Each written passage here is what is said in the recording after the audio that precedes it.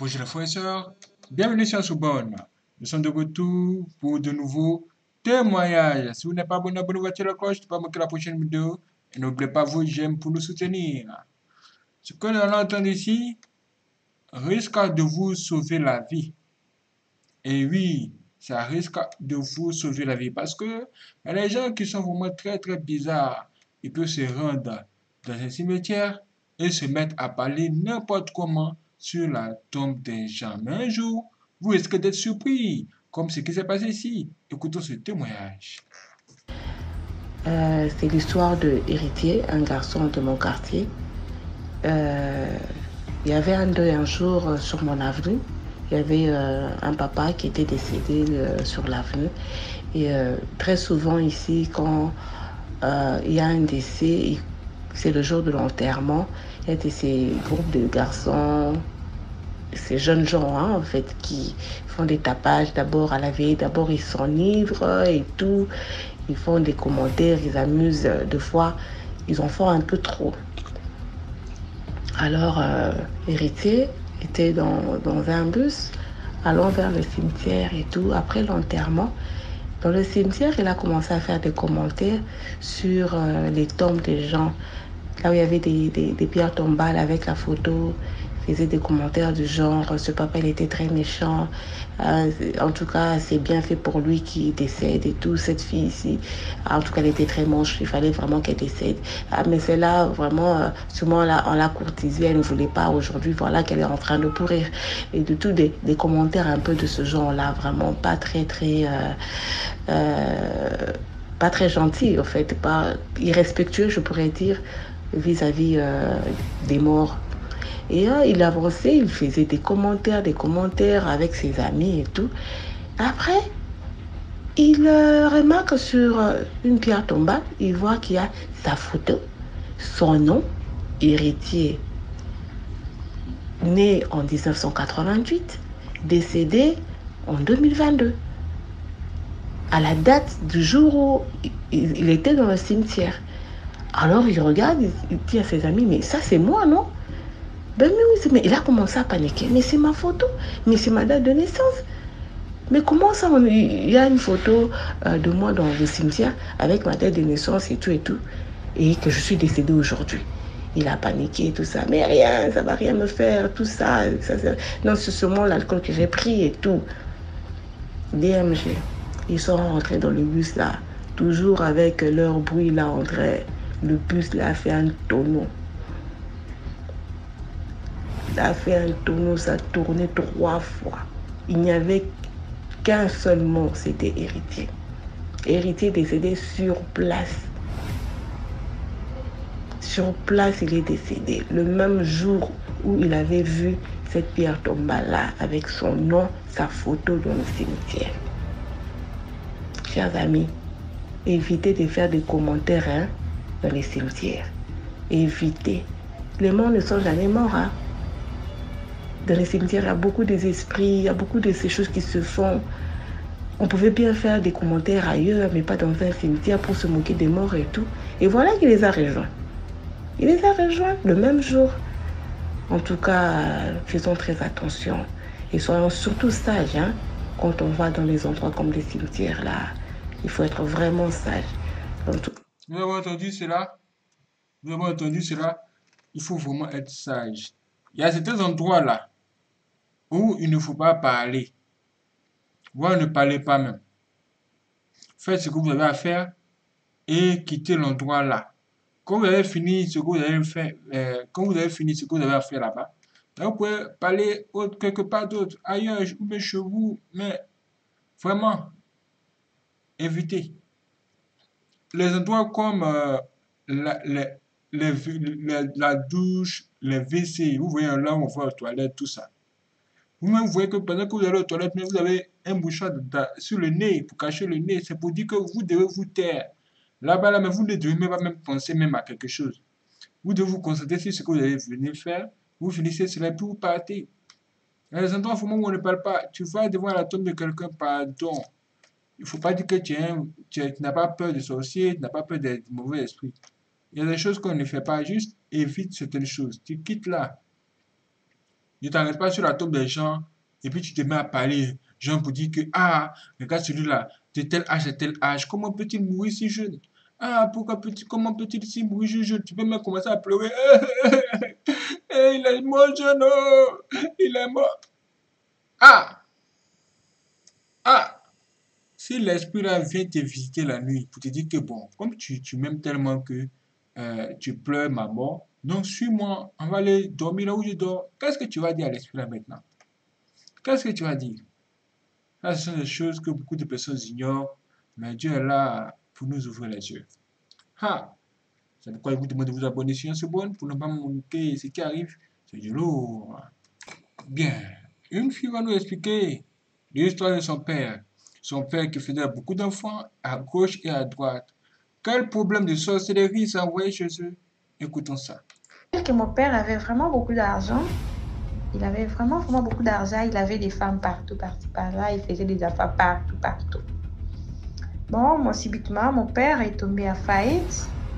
Quand il est tombé à faillite, ma mère, bon, ma mère ne supportait pas la galère et comme il croyait très belle, il est parti chercher notre homme ailleurs et il nous a laissés avec notre papa. Et moi, j'étais la petite de tous. Donc, euh, j'étais la petite de papa, je connaissais tous ses secrets, je connaissais tout. Alors, mon père, comme la vie était devenue si dure, il a commencé maintenant à voyager, chercher la vie partout, partout dans les petits villages. Alors, je compte te signaler que mon père, quand il faisait des enfants, il amenait toujours ses enfants à la maison. Donc, mon père, vraiment, il avait beaucoup, nous avons beaucoup de maisons, même jusqu'à maintenant. Amenait toujours les affaires, dit non, toutes mes affaires doivent vivre ensemble. Alors, quand papa était maintenant tombé à faillite, mes frères et mes cousins, mes frères et mes, mes, mes, oncles paternels disaient papa, non, c'est assez, assez. Tu auras combien d'enfants Parce qu'on était déjà directement dans le lycée comme ça. Tu auras combien des enfants? C'est fini. Il ne faut plus faire des enfants. Il dit d'accord, j'ai compris.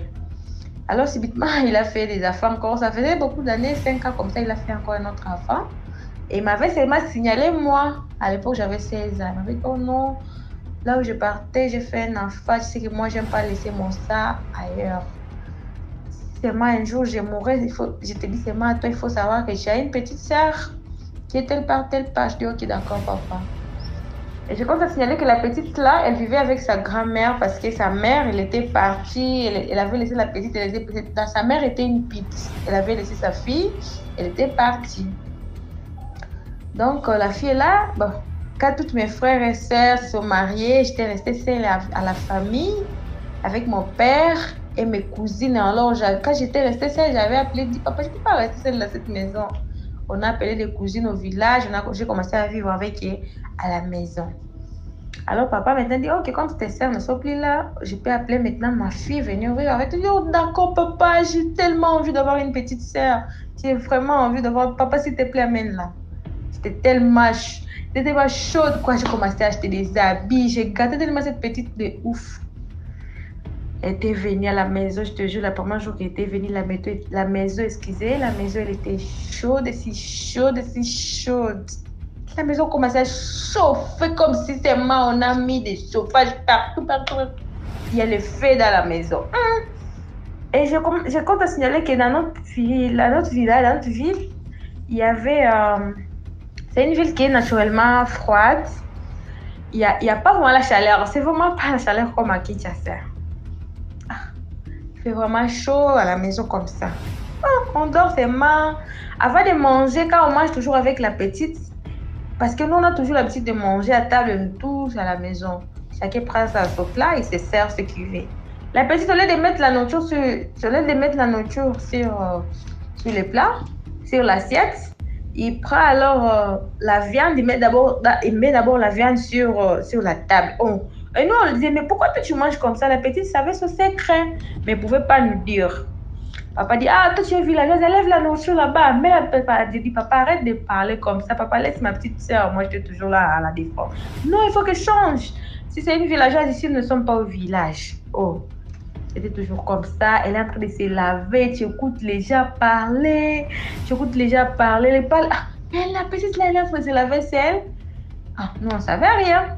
Quand on dort, d'habitude, nous, notre, notre télé, c'était dans notre chambre pour nous, les filles. Donc, avec mes cousines, on regardait toujours la télé jusqu'à même 1h du matin. Quand c'est toujours 0 heure, nous, et les nos cousines, elle, elle dort. La petite, elle avait, je dis qu'on t'a signalé qu'elle avait 6 ans, elle, elle dort. Après avoir dormir, hum, elle commence à manger. Quand c'est seulement 0 heure, juste, elle commence à manger, manger, ma- comme ça. Elle mange ça comme si quelqu'un est en train de manger ses dents. Mâcher ses dents. Elle mange ses dents. Oh, on se dit, mais ça, c'est quoi ça? Elle était comme ça, elle commence à manger, manger, manger, manger ses dents. Ça s'est répété chaque jour. Elle était tellement étrange. Quand elle signalé qu'elle mangeait tellement beaucoup, mais elle était vraiment mince. Elle peut manger la nourriture de six personnes, ça c'est rassasié. Ah. Alors c'est maintenant nous- ah, j'avais une petite cousine là. j'avais une cousine qui priait vraiment beaucoup. Qu'on vivait avec elle. Non? Euh, Encore le lendemain, on, on était parti regarder la télé jusqu'à quand c'est toujours zéro. La petite là, elle est partie dans sa chambre. Elle est partie prendre l'eau bénite, comme elle priait beaucoup. Je compte à signaler que nous prenons l'église catholique. Elle a pris l'eau bénite. Elle a versé sur les coups, les coups de la fille. La fille s'est levée de témoin, elle a bou. Elle, elle s'est levée subitement.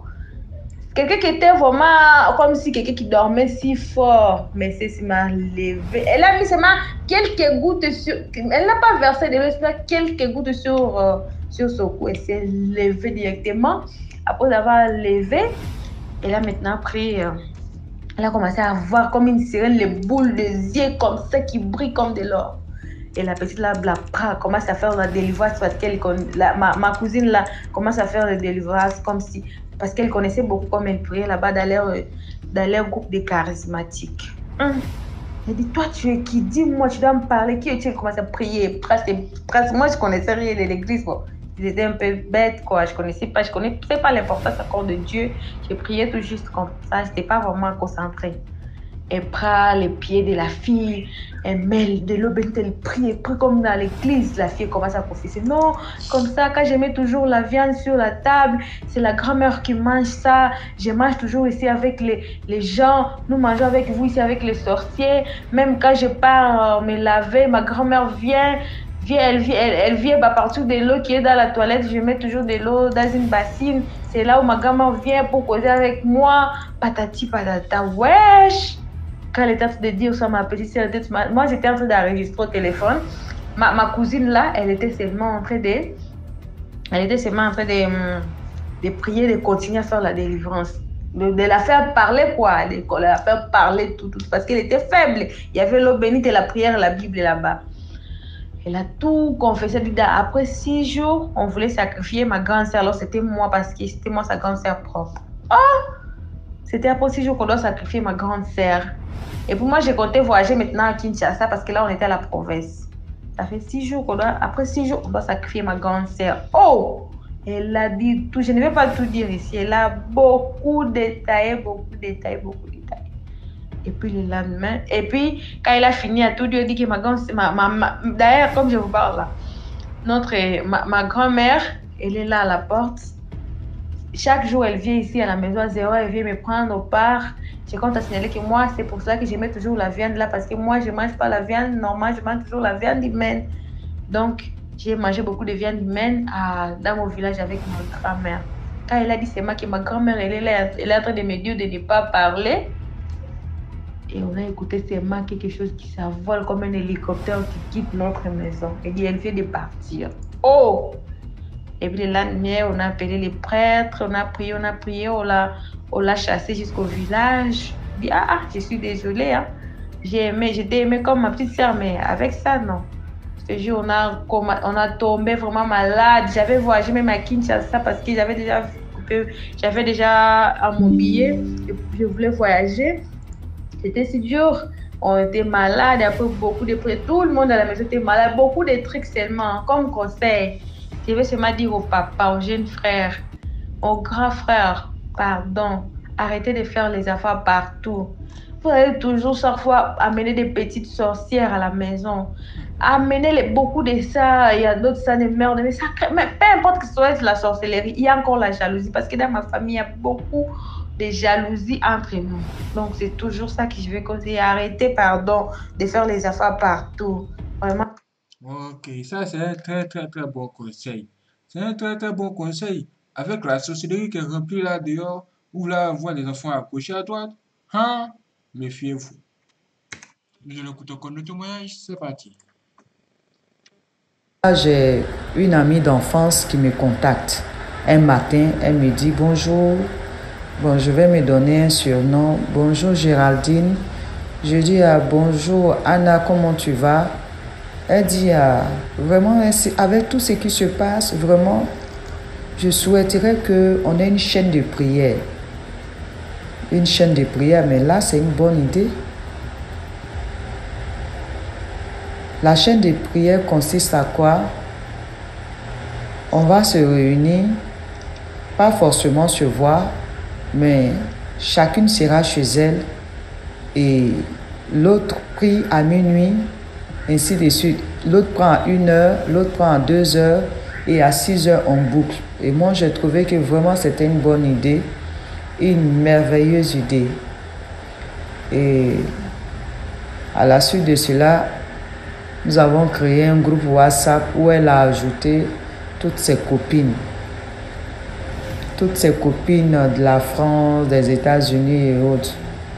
Et nous étions un bon nombre de femmes dans ce groupe-là. Et chaque fois, c'était la prière. Chaque fois, c'était la prière. Et un jour comme ça, elle a décidé de, sortir parce que on l'avait invitée. Euh, dans une église euh, dans ma commune. Avant de partir, elle a contacté certaines femmes qui pouvaient l'accompagner. Et moi, bon, j'ai dit, ok, je vais voir. Et ensuite, j'ai dit, bon, il n'y avait pas de problème. Je suis allé là-bas les, les, les rencontrer dans cette église. Quand elle m'a vu, elle est descendue et elle m'a fait à tout. Et là, je lui ai dit, euh, non, mais tu ne peux pas me faire à tout comme ça parce que on demande une certaine distance. Elle dit, oh non, en Christ, il n'y a pas ça. Donc, elle m'a fait une accolade. À partir de cette accolade, je, je, je, je vous dis, je ne me suis plus senti bien. J'ai commencé à être bizarre, j'ai commencé à être malade dans mon corps très, très malade. Et j'ai signalé dans le groupe là-bas que j'étais malade. Et ça a toujours été comme ça. Après, j'ai commencé à sentir un froid terrible, comme si j'étais dans une chambre froide. J'avais tout le temps froid. Au moment où tout le monde a chaud, bon, j'ai froid. Je grelottais de froid. Et par moments, je voyais de ces grosses mouches-là rentrer dans ma maison. Tout est fermé, mais les grosses mouches pénétraient ma maison.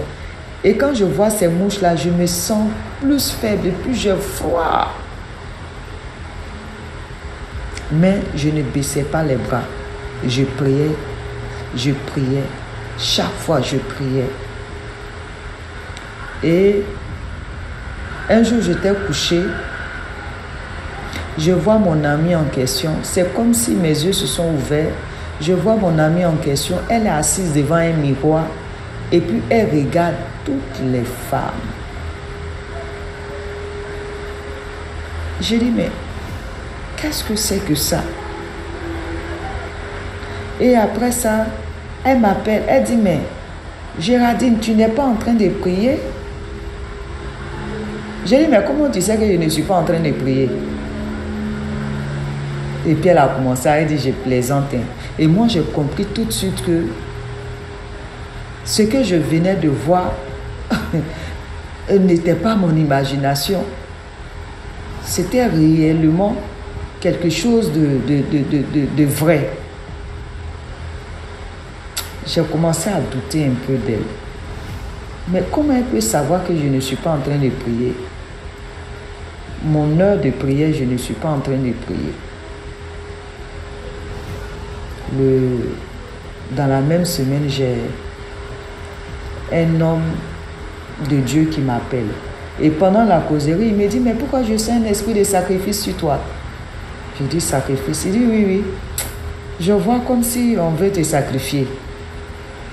laisse, je vais prier pour toi. Le lendemain, il y a un autre qui m'appelle. Il me dit la même chose. Trois comme ça, trois personnes m'ont dit la même chose. Alors là, j'ai commencé à prendre ça au sérieux. J'ai dit, mais qui veut me sacrifier? Je pensais à tout le monde, mais sauf elle. Je continuais la prière et c'était des cauchemars à chaque fois que je dormais, des cauchemars, des cauchemars. Je n'avais plus de paix dans mon sommeil. Et un jour, pendant que je prenais ma douche, une voix me dit, sors de ce groupe WhatsApp. Sors de ce groupe WhatsApp. Je suis sorti, j'ai pris mon téléphone. Je suis sorti du groupe. Je suis sorti de ce groupe WhatsApp. Et l'erreur que j'ai faite, quand je suis sorti, je n'ai pas prié. Ah, là, c'était le début de, de, de tous mes cauchemars, quoi. J'ai commencé à avoir plus froid qu'avant. Des cauchemars se répétaient, se répétaient. J'étais tout le temps couché malade. Je ne comprenais rien à ma vie. Et vraiment, je, je dis merci à Dieu. Avec les prières, les gens se sont déplacés avec les prières, les prières, les prières, les prières. J'ai commencé à me retrouver. J'ai commencé à me retrouver. Beaucoup de choses ont été dites. Beaucoup de choses ont été dites pendant les prières. Et moi-même, je voyais de ces choses sortir en courant de la maison, en fuyant de la maison. Vraiment, je veux dire merci à Dieu. Et le second homme de Dieu qui est venu, il m'a dit, mais je te vois dans un groupe. Il y a une femme qui t'a contacté pour un groupe, pour une organisation, mais qui va s'avérer plus tard très satanique. Elle est dans une secte. Et pour sa progression, on lui a demandé de faire des sacrifices et elle y a mentionné ton nom. Mais Dieu n'a pas voulu, la main de Dieu est sur toi. Par moment, il y a des représailles. Cette femme, si elle essaie de te recontacter, refus catégorique. Coupe tout avec elle. Dieu dit qu'il n'a aucune alliance avec cette femme. DMJ, je vous dis que cette femme a une grande église chez elle à la maison. Un lieu de prière où elle fait défiler certaines personnes pour prêcher chez elle. Pour dire aujourd'hui que vraiment les amitiés, il y a eu tellement de choses, tellement d'expériences que j'ai vécues avec elle. Mais je dis l'essentiel quoi. Sinon, bien, bien au début même, il y a eu beaucoup de choses, mais je préfère euh, vous dire cette petite partie-là pour dire de faire très attention aux amitiés.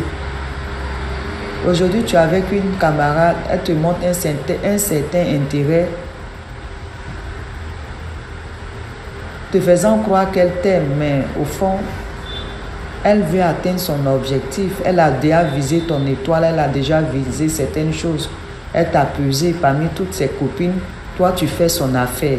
Et là, c'est sans pitié. Hein? Aujourd'hui, les gens n'ont pas besoin que tu sois de leur famille pour, pour t'atteindre. Une simple amitié suffit. Donc vraiment, je demande à toute la communauté de faire très attention aujourd'hui aux amitiés. Aux amitiés. Aujourd'hui, je suis seule. Aujourd'hui, je n'ai pas d'amis. Je préfère rester dans mon coin. Et vraiment, merci, merci, merci beaucoup. Vous avez entendu cela? Vous avez entendu cela? Il est préférable de marcher seul que d'être mal accompagné. Aujourd'hui, il y a des mauvais esprits dehors. Et les mauvais esprits sont dans qui? Dans les gens qui vous entourent, dans les gens que vous traversez. Ah Vigilance Dès que tu rencontres quelqu'un et que tu, suis tu commences à suivre la personne, en même temps de mauvaises choses commencent à t'arriver dans ta vie, ne néglige pas ces signes. Ne néglige jamais ces signes. C'est un premier signe que je te donne pour te dire retire-toi de là. Retire-toi de cette personne. C'est pas toi d'elle avant qu'il soit trop tard. Ha! Bien, nous allons écouter encore nos témoignages. C'est parti. C'est l'histoire d'un monsieur, un monsieur très riche, riche, d'une richesse inestimable même, Mhm. et très généreux. Généreux, il était là, il fait des cadeaux un peu partout, des dons un peu partout. Ouais. Et puis voilà, tout le monde était content. Je- voilà, on l'acclamait partout, on faisait ses éloges partout. Voilà, il avait des immeubles un peu partout et puis dans cette ville et puis il a aidé tout le monde. Il aidait franchement tout le monde. Toute personne qui avait besoin de lui était satisfait, satisfaite. Ok. Mais comme on le dit souvent et puis voilà, nous le connaissons tous que toute âme goûtera à la mort. Le monsieur décède. Et quand le monsieur décède, tout le monde était triste. Et euh, on l'a enterré le même jour, on n'a même pas retardé avec ça. Le même jour, on l'a enterré.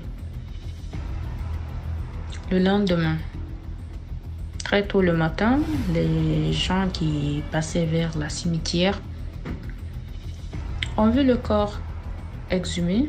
Le corps était sur la surface. Voilà.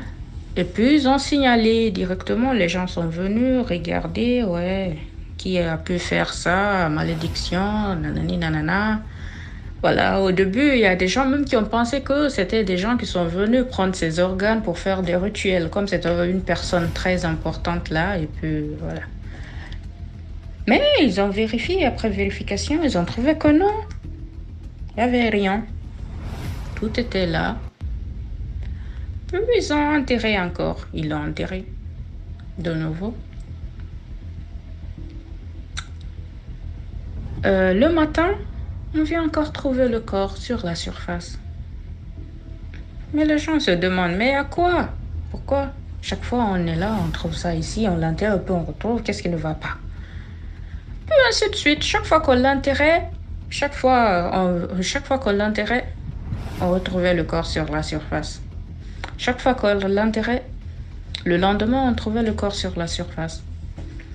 Voilà, je ne sais pas à combien de reprises il a été enterré, mais tout ce qui est sûr, c'est pas une, deux ou trois fois. Il a, enterré, il a été enterré plus que ça. Plus que ça. Voilà. Puis, j'ai- les gens ont commencé à se demander, euh, les sages se sont réunis et disent Ah, si tu vois qu'il ne repose pas en paix là, sûrement, il y a un problème. Il y a quelque chose qui, dans ce bas monde qui, qui l'empêche de reposer en paix, genre. Donc, euh,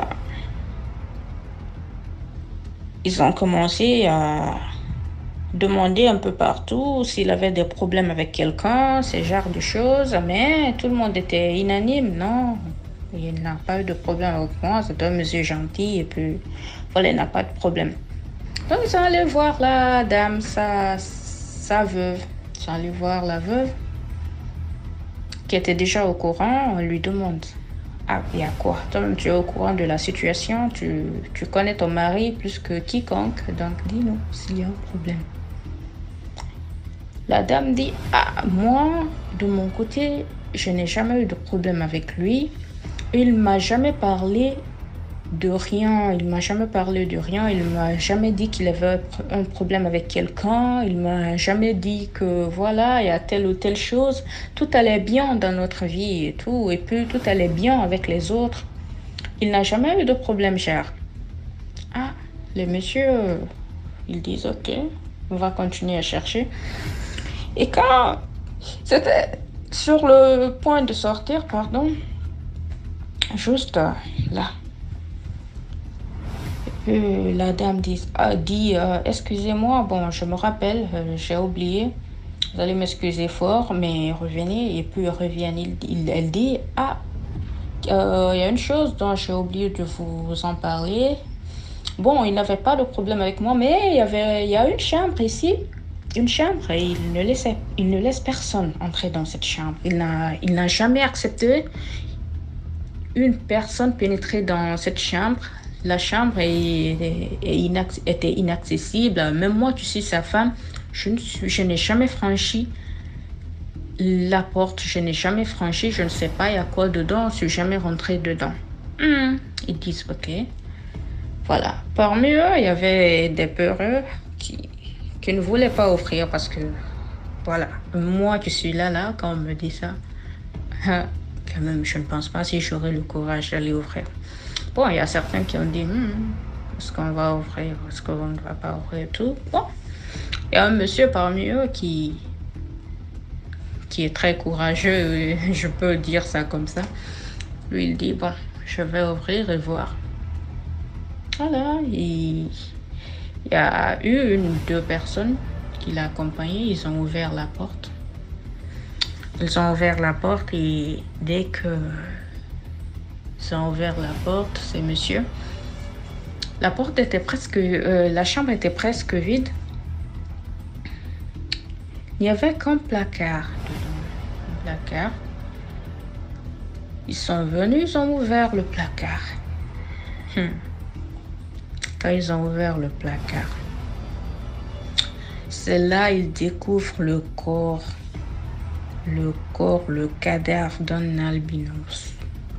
Un albinos, euh, on ne peut, on ne peut pas savoir il est mort depuis quand. Mais tout ce qui est sûr là, le corps là était sec, les dents dehors, le corps est sec, les dents dehors.